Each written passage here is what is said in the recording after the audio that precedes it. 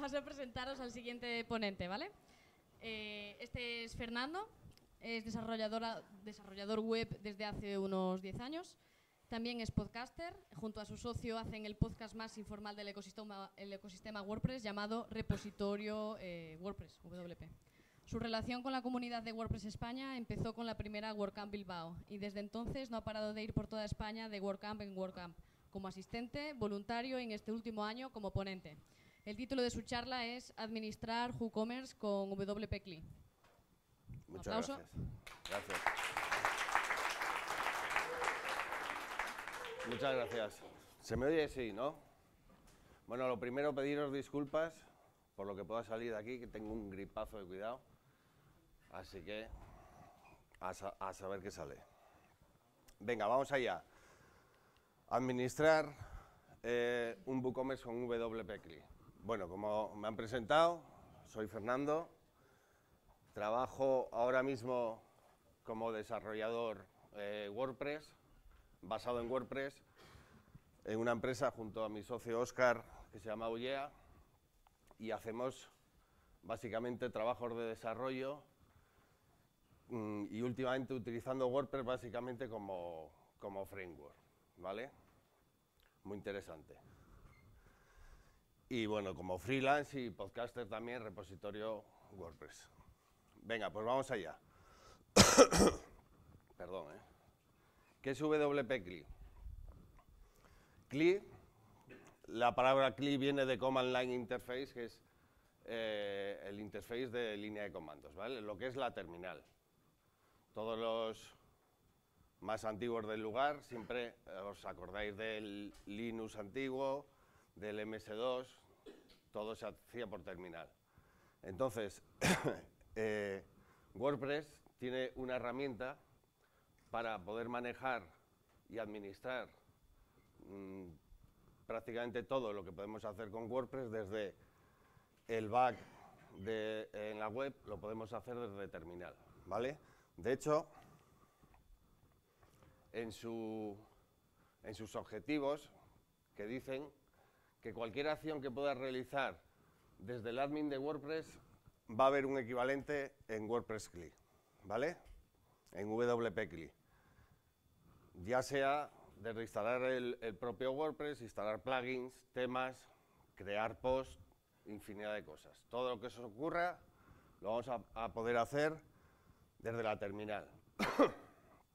¿Y por qué hacerlo desde la terminal? Bien, hoy en día que tan, tan en boga está el ser más productivos, nuestro tiempo cuesta dinero, vamos a intentar hacer las cosas más rápidamente. Con la terminal vamos a poder automatizar un montón de, eh, un montón de acciones que hacemos en mucho menor tiempo. Menos tiempo significa menos dinero para el cliente, lo cual significa ser más productivo. ¿Vale? Bien, por el principio. WordPress CLI. ¿Cómo lo instalamos? Vamos a la terminal. Aquí os dejo, esta presentación la, os la dejaré, ¿vale? Como eh, indican desde el propio proyecto, que está aquí la dirección, cómo instalar el WordPress CLI, que básicamente es bajarte el WP FAR y darle permisos y ya está, ¿vale? Esto cuando lo hagáis a través de una consola Linux, cuando, por ejemplo, estéis trabajando local o cojáis un VPS y lo tengáis que instalar, porque la mayoría de hostings que tienen servicio hosting compartido, hoy en día la mayoría ya traen por defecto el, v, ¿vale? La mayoría. Nada, esto simplemente una vez que lo instalas, le das el flag info y si está bien instalado nos da ahí la información del sistema. Madre mía, dejarme que beba un poco de agua.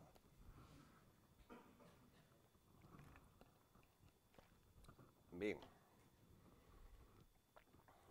¿Cómo funciona eh, WP CLI? WP CLI son una serie de comandos, ¿de acuerdo? Cada uno valdrá para una cosa. Entonces, el formato siempre es este. Primero, bueno, el dólar es, lo pongo ahí como el símbolo de la terminal, ¿de acuerdo?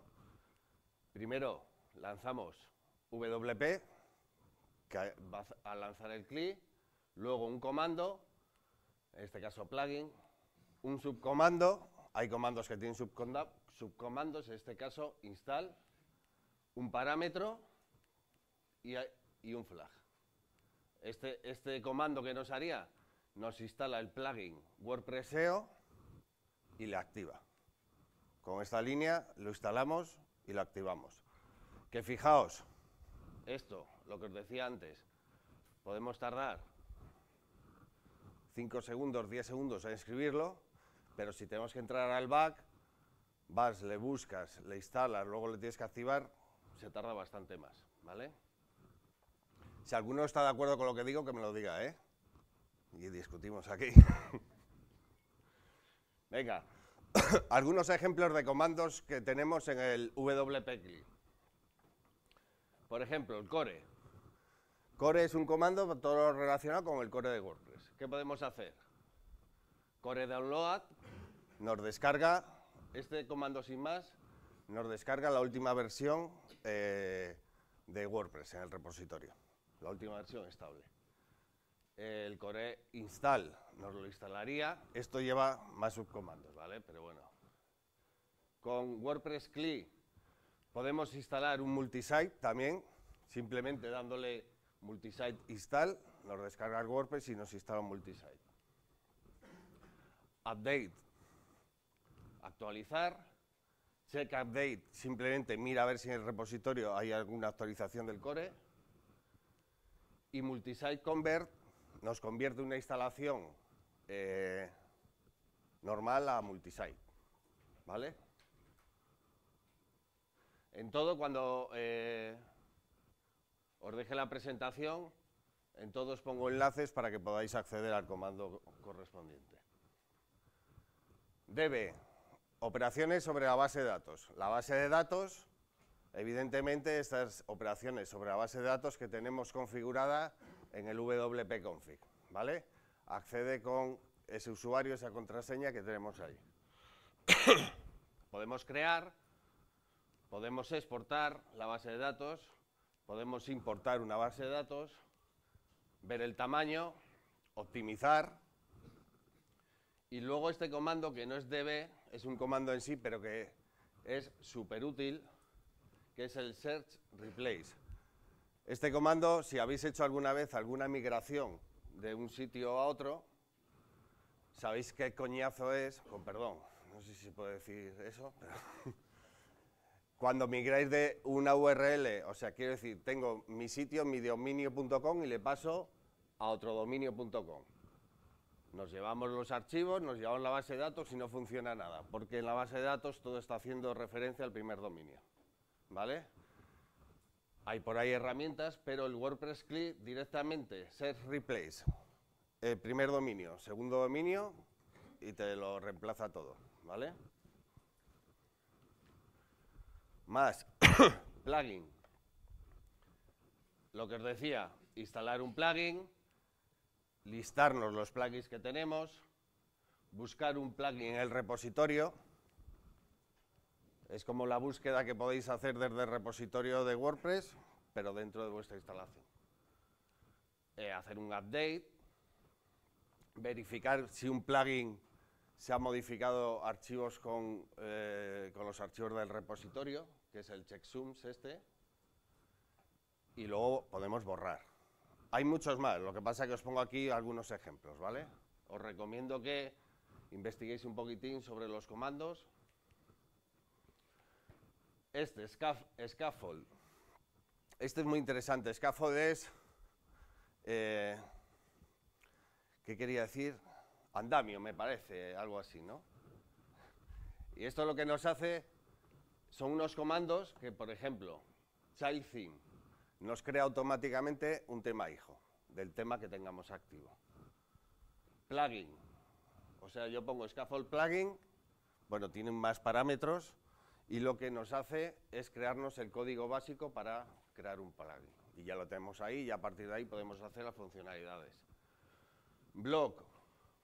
Este nos genera un bloque para Gutenberg, que en la charla de Sevilla estuvimos haciendo una, eh, en la WordCamp de Sevilla, una charla sobre esto. También te genera el código básico para hacer un bloque de Gutenberg. Y a partir de ahí, las funcionalidades. Taxonomía y luego el underscore te eh, crea un tema basado en underscore, ¿vale? Que es un, no sé si conocéis underscore, es, es un tema gratuito, que es un tema base para a partir de ahí poder eh, hacer lo que queráis.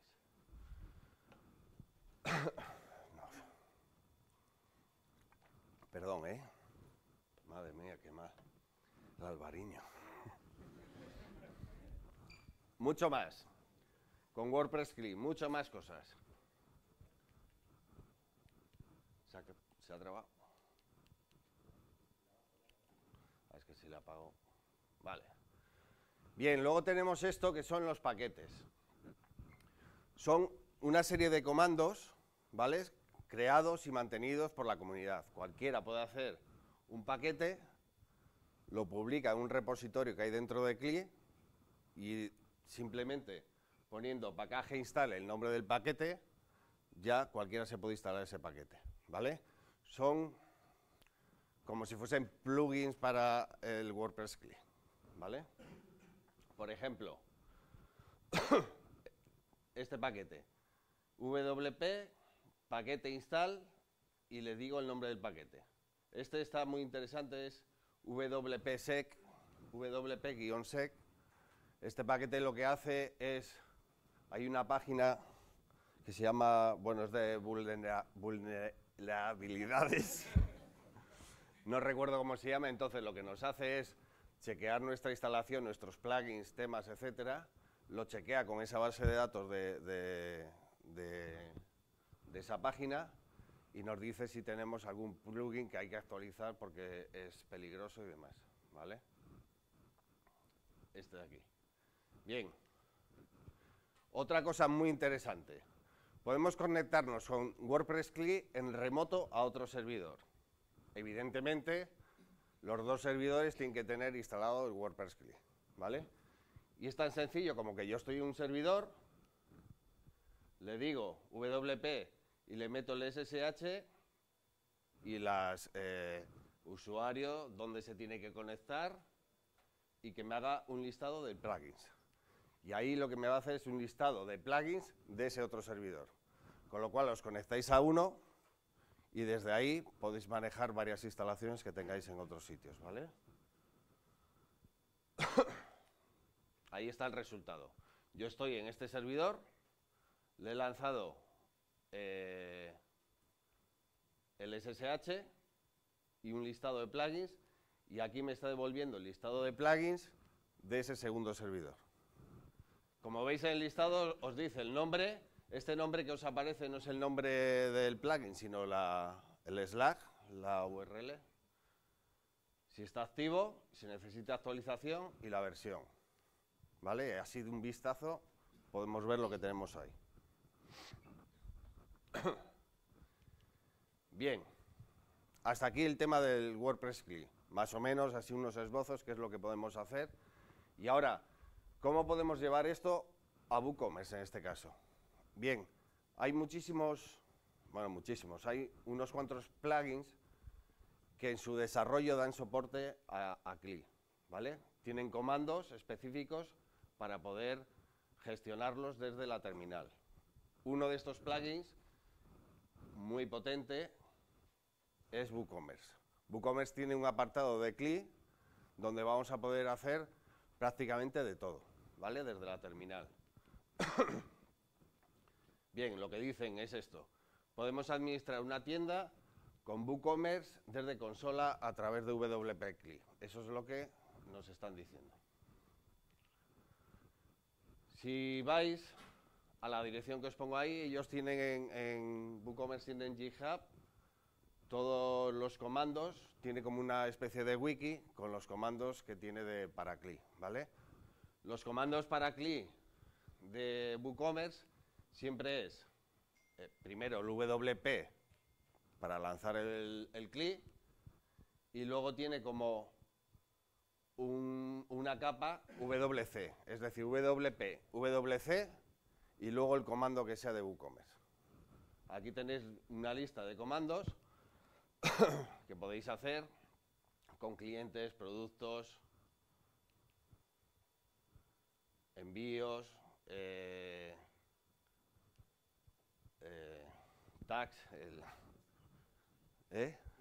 impuestos, perdonad, Vale, y también tiene el help. En todas las, en todas las opciones, esto no sé si os lo he dicho, en todos los comandos de, de WordPress CLI, si al final ponéis barra barra help, os va a decir todas las opciones de ese comando, ¿vale? Bien, entonces tiene esto, esta pila de ellos. Por ejemplo, bueno, esto es como sacar la ayuda. Si yo le digo WP, WC, Product Create, barra barra help, me va a sacar la ayuda de el comando crear producto. ¿Vale? Un ejemplo sería este. Aquí le digo WC, o sea, crear producto, flag name, esto es el nombre del producto. Producto de prueba para la Worker Pontevedra. El slag, la descripción, el SKU, el precio y le voy a dar un precio de oferta. Y luego al final, en estas opciones de eh, en el clic de, WooCommerce le tenemos que poner eh, el usuario. ¿Por qué? Porque solamente puede dar de alta, en este caso un producto, el que sea administrador de la tienda, alguien que tenga privilegios, ¿vale? Si no le das el usuario te va a decir que, te falta. Entonces, con este comando de aquí, lo que vemos en el front nos, nos genera automáticamente esto. El título, el precio, el precio en oferta, el SKU y la descripción que le hemos dicho. ¿De acuerdo? Qué chulo, ¿eh? Bien, lo mismo con crear clientes. Creo cliente, le digo el email, le digo el nombre, el apellido, el usuario, la contraseña y luego el que lo crea. ¿De acuerdo? Exactamente igual. Si no sabéis, porque nadie lo va a saber de memoria, eh, todos los flags que tenemos para crear cliente en este caso, le dais al help y lo podéis ver. En este caso sí que nos va a pedir unos datos mínimos que son el email, usuario y contraseña, me parece que son los tres que te pide como obligatorios. ¿De acuerdo? Vale. Entonces esto, ese comando, nos genera en el back el cliente. ¿De acuerdo? Bien. Ahora vamos a pasar al modo Pro. Es decir, esto que hemos hecho está muy bien, pero al final se trata de ganar tiempo. Y claro, si tenemos que estar escribiendo customer, create, no sé qué, al final tardamos menos yendo al back de WordPress y creándolo. Vale, pues os voy a contar cómo lo hacemos en modo Pro. Esto está basado en un hecho real, como dirían las películas de los sábados por la tarde.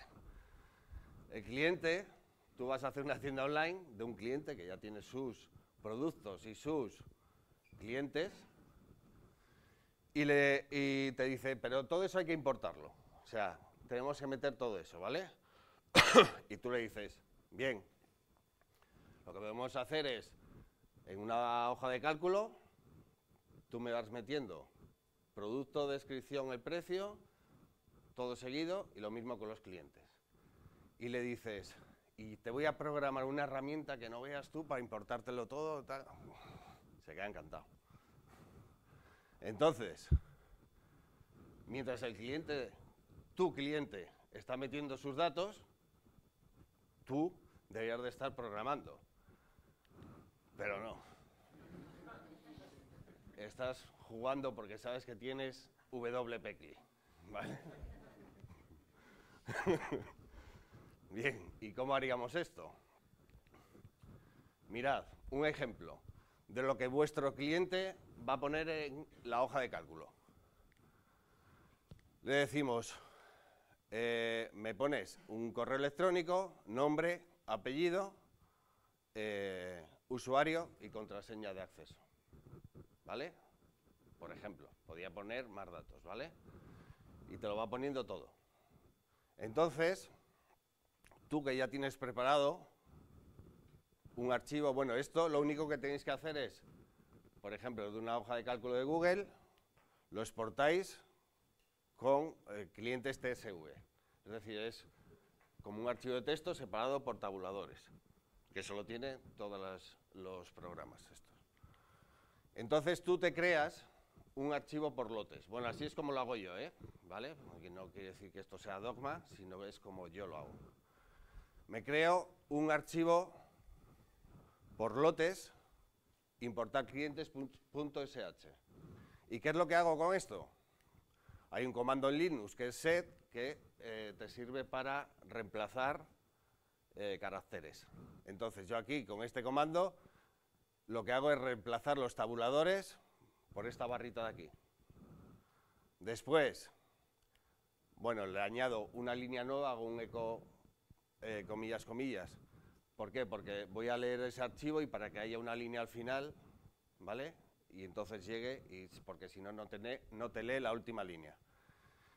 Y después le hago un while. Le digo, tú vas leyendo este, eh, este archivo y cada vez que encuentres este símbolo, me vas a leer estas variables. Uno, nombre, o sea, email, nombre, apellidos, usuario y contraseña. Esos son, si recordáis, son las columnas que había pintado el cliente, ¿no? Pues le digo que cada, cada simbolito de esos divide uno, cada una de las eh, variables. Y simplemente le hago el comando este que hemos visto antes, solo que le hago referencia en la variable. Entonces, va haciendo ahí un bucle y mientras no se acabe el fichero, nos va generando los clientes. Da igual 1, 100 o 2000. Y esto lo lanzas una vez y automáticamente ya lo ha creado todo. ¿Vale? Y el cliente está alucinado con el script que le has hecho. Esto con los clientes. ¿Y cómo hacemos con los productos? Pues lo mismo. Producto, descripción y precio. Podéis meter más campos, evidentemente. Y hacemos el mismo, la misma operación. Bucle, solo que aquí le decimos crear producto. ¿De acuerdo? Espero que más o menos. De todas formas, mañana en el Contributor vamos a estar por aquí. Si tenéis cualquier duda, hacemos un, una demo en directo. Cascará, pero ¿Vale? Bueno, eso es como quedarían los productos en nuestro back. Y nada más. Muchas gracias.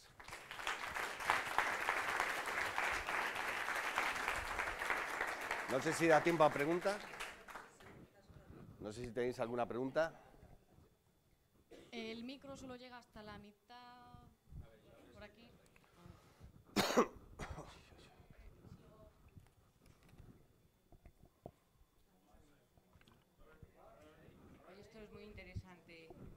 Hola, hola. Hola. Mira, eh, como estamos eh, en los productos, digo yo, ya para terminar y que te lo monte todo, lo que nos interesaba era que meta también las imágenes. Las imágenes. Se pueden meter también. Como un campo en el que metes la URL. Eso, sí, sí, sí, sí, se pueden meter. Bueno, no sé si metes la URL o tienes que meter la ID de la imagen y, eh, la tienes que haber subido. No, es tan fácil no estoy seguro.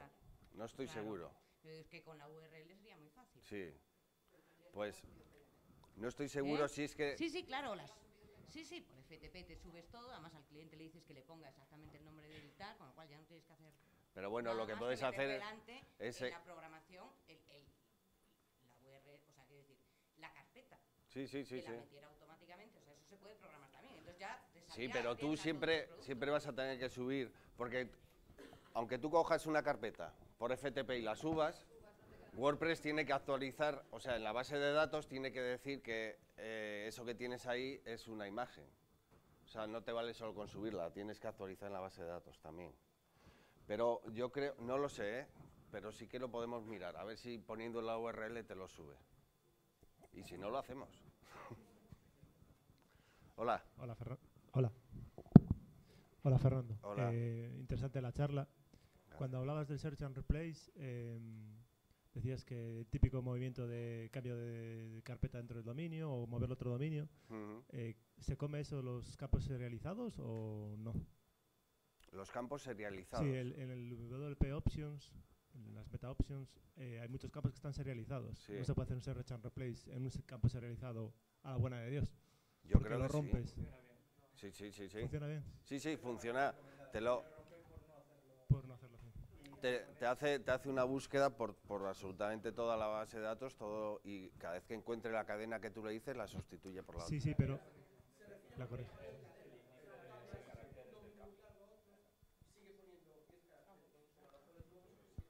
No, no, pero yo creo, yo que- sí, sí, ya te entiendo, pero yo creo, yo creo que lo cambia, ¿eh? Sí, sí, sí, sí, sí, ¿Alguna pregunta? sí.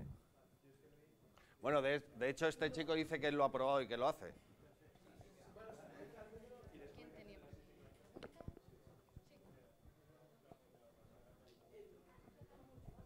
Al, al hacer lo de la actualización de productos, bueno, subirlos y puedes actualizar también. También, Y no hay límite de timeouts. no, bueno, será el límite del servidor. Pero no es como una petición web que suele ser. No, no, en principio no, nada. No, porque tú estás, estás en la terminal, estás actuando contra el servidor.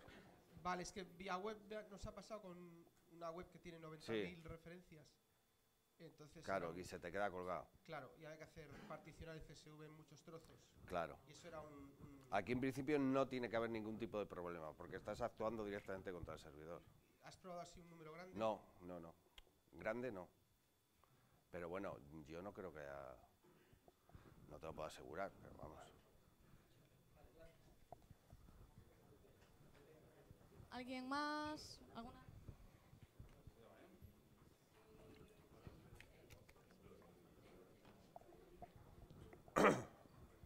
Eh, cuando te conectas en remoto a otro WordPress, ese otro WordPress tiene que tener algo especial para que te puedas conectar.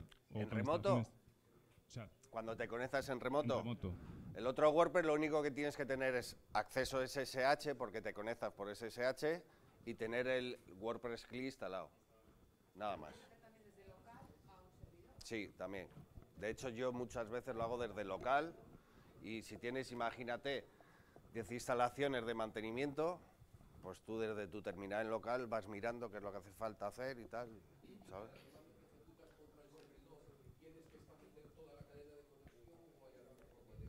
No, la tienes que establecer, la tienes que establecer.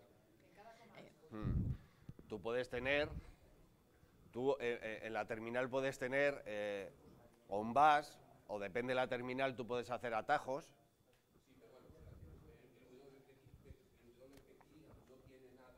No, no. Tienes que poner la cadena.